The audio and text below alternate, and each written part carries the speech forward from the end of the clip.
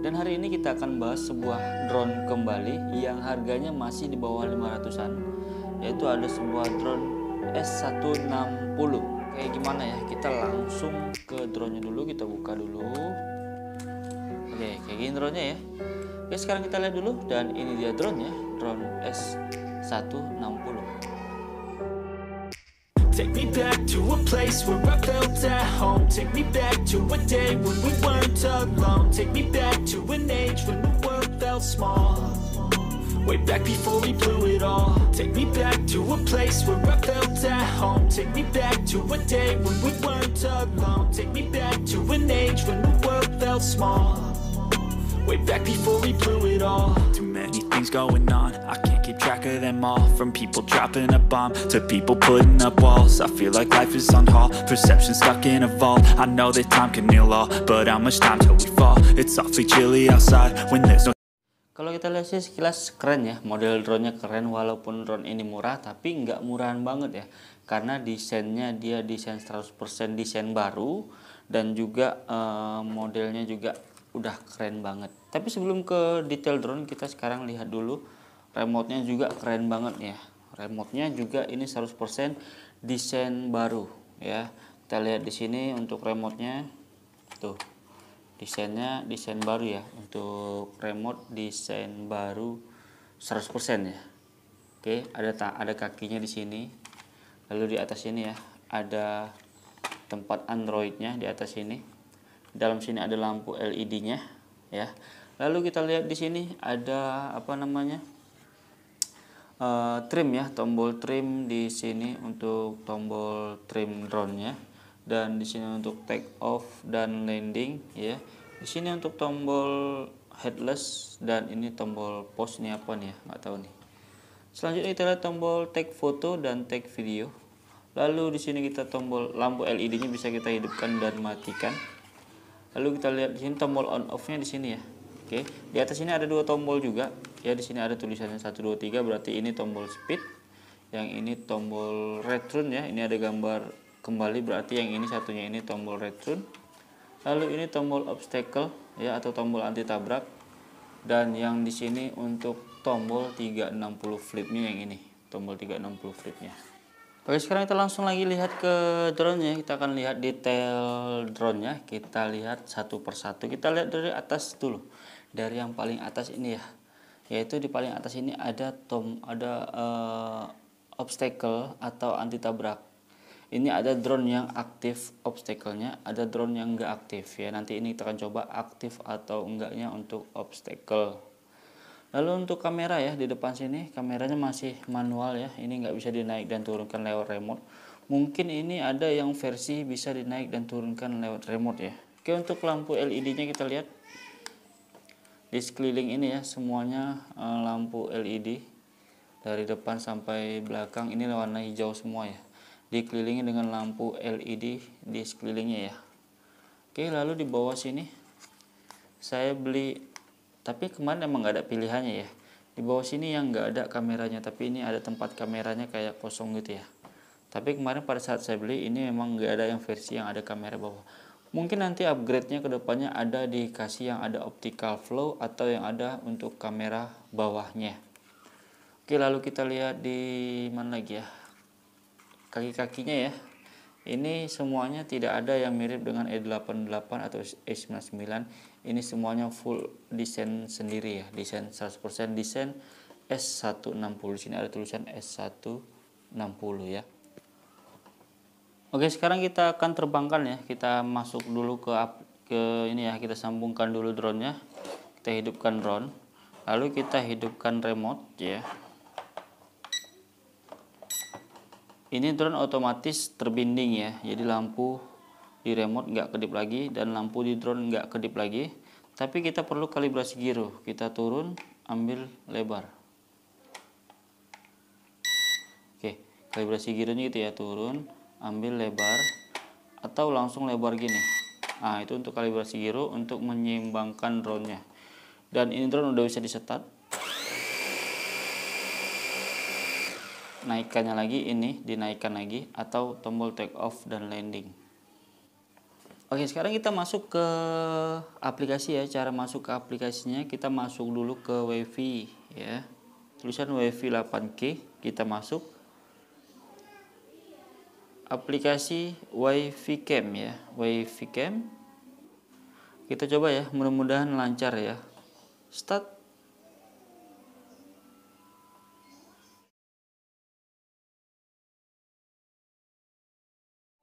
Oke untuk menggunakan handphone Samsung nih Samsung apa nih ya?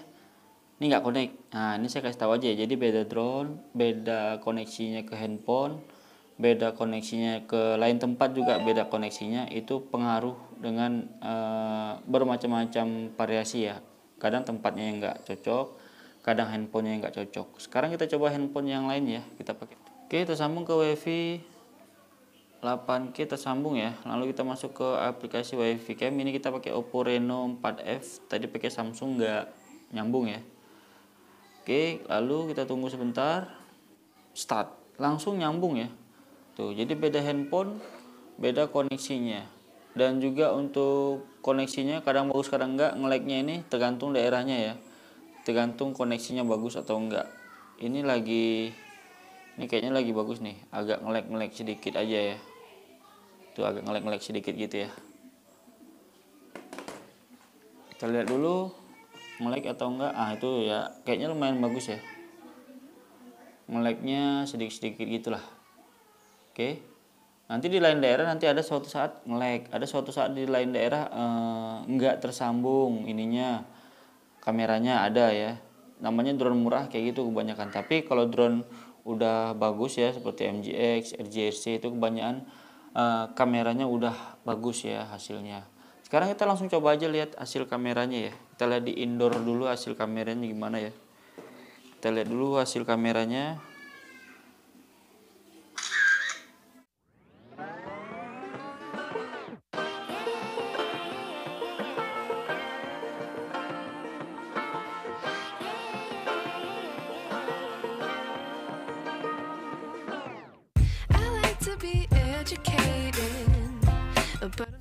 Oke untuk foto kayak gitu. Tapi untuk video nggak tahu nih ya tapi kita coba aja ya melek atau enggak nanti hasilnya pada saat diedit video ini baru tahu ya. Kita coba rekam video. Satu dua tiga rekam. Oh salah ya. Tiga dua satu rekam video. Oke ini rekam nih.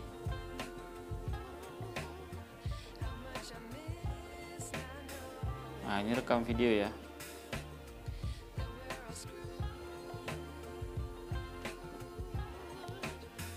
nanti nge-lag atau enggak hasilnya nggak tahu ya. Ini kita coba dulu rekam dulu kita kelilingin dulu sini. Kayaknya di aplikasi nge-lag tapi nggak tahu nanti hasilnya pada saat di uh, rekam ya. Di aplikasi nge-lag sedikit-sedikit gitu tapi nggak tahu nanti hasilnya. Ini kita rekam dulu nanti hasilnya baru kita liatin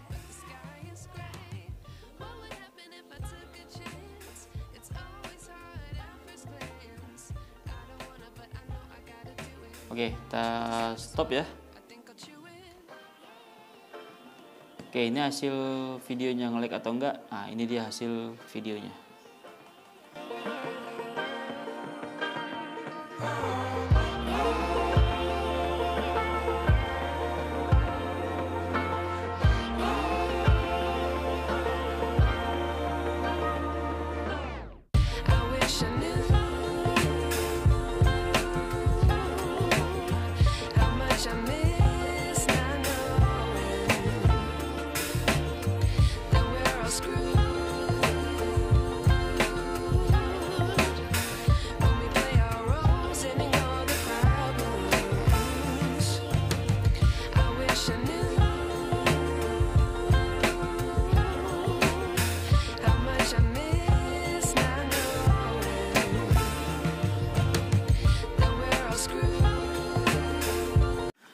Kita hidupkan drone.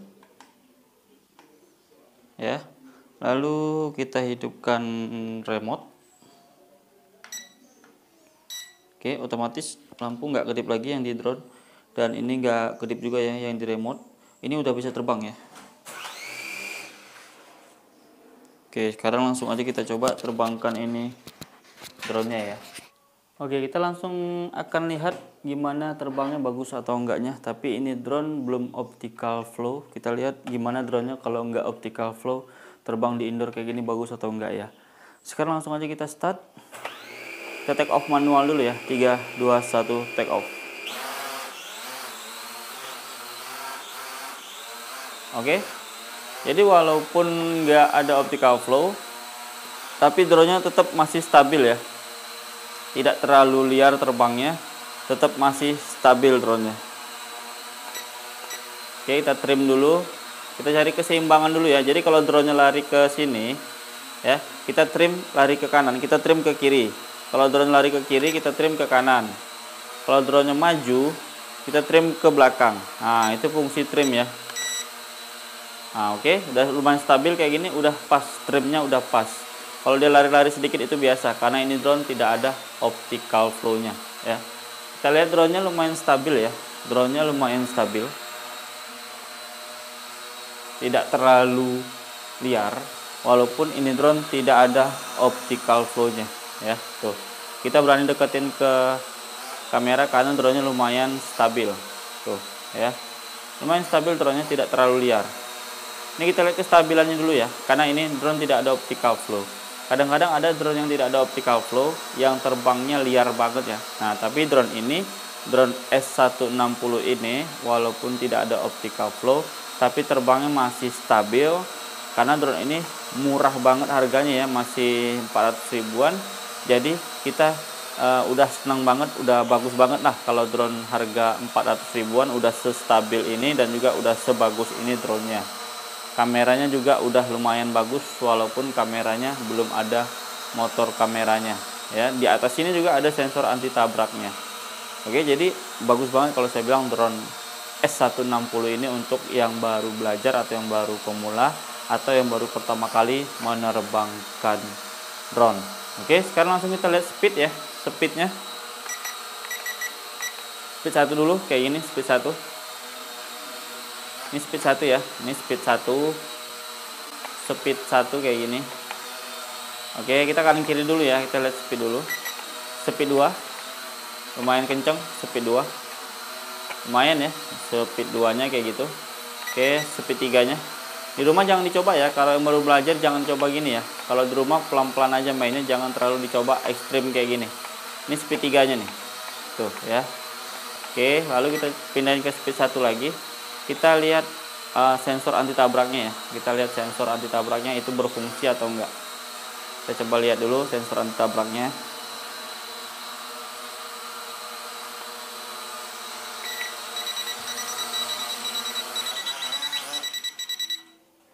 jadi sensor anti tabraknya terlalu ekstrim banget ya tadi hampir nabrak ke sini. Jadi sensor anti tabrak itu pakai di luar ruangan aja ya. Jangan dipakai di dalam ruangan. Tapi sensor anti tabrak ini benar-benar aktif tapi terlalu agresif. Tadi kita geser gini langsung dia lari gini, langsung diambil. Kalau bingung gitu ya, takutnya dia nabrak lebih bahaya lagi. Oke, sensor anti tabrak aktif tapi kita akan coba lagi nanti di outdoor ya. Kita akan coba lagi uh, flip ya. Step one, wake up early, gonna rise with the sun. Step two, Get some good, some food in you. Step three, think real hard about what you wanna be. Step four, everybody just do your thing. Wake up, today's gonna be a good day. Wake up, today's gonna be a good day. Wake up, today's gonna be a good day. Wake up, today's gonna be a good day. Wake up, today's gonna be a good day. Wake up, today's gonna be a good day. Wake up, today's gonna be a good day. Wake up. Today's gonna be a good day. Yo, set your affirmations, aspirations. Oke, okay, kita coba flip ya. Flip. Oke,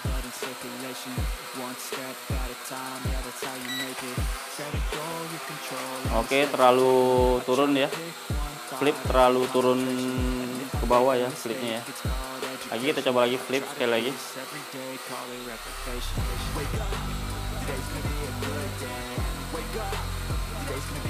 Oke, okay, flip. Oke. Okay. Flipnya terlalu turun ke bawah ya. flip jadi flip jangan dimainkan di dalam ruangan ini kita hanya percobaan aja semuanya dalam ruangan jangan dicoba di rumah ya oke kita start lagi tapi, tapi kalau bisa setelah jatuh atau setelah dia uh, kita ambil kita kalibrasi ulang ya kalau mau terbang Oke, kita start kita take off They'll never stop unless I can swap all the bad for the good in my head when I'm lost. Uh. Yeah, so I'ma fake it till I make it. Positive thoughts are overtaken, I got patience. One day at a time is how you operate a cadence. A flow, you grow, you show yourself a foundation. Stay away from all the shit that causes temptation. I know that I like to do it cause it's sensation. I live my life in my head like a narration. Don't expect greatness, do my best man. Bang dia di situ. Tidak terlalu liar walaupun tidak ada optical flow-nya ya. Drone-nya masih anteng aja dan masih enak-enak enak-enak aja untuk dimainkan ya untuk drone-nya oke masih stabil dia di sana. Kita nggak bisa main muter-muter ya nggak bisa main muter-muter karena tempatnya terlalu kecil ya terlalu sempit. Jadi kita coba di sini aja